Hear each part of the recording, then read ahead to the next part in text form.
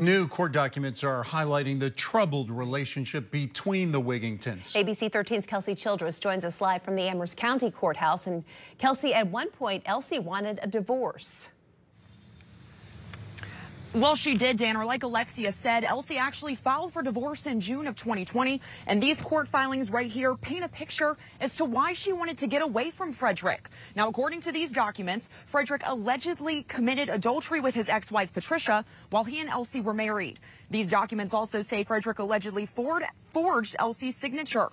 That's so he could put the title of her mobile home in his name. The documents claim he also staged a robbery at that mobile home. Later, he allegedly admitted to taking his own own guns, Elsie's jewelry, and other property. Now, I reached out to the Commonwealth's attorney to see if there was any legal action against Frederick for any of this, but I haven't heard back. Now, I also found a separate filing from Elsie on an order of non-suit in 2021. That essentially means that she decided to cancel that divorce filing and stay with Frederick. We're live in Amherst County tonight. Kelsey Childress, ABC 13 News.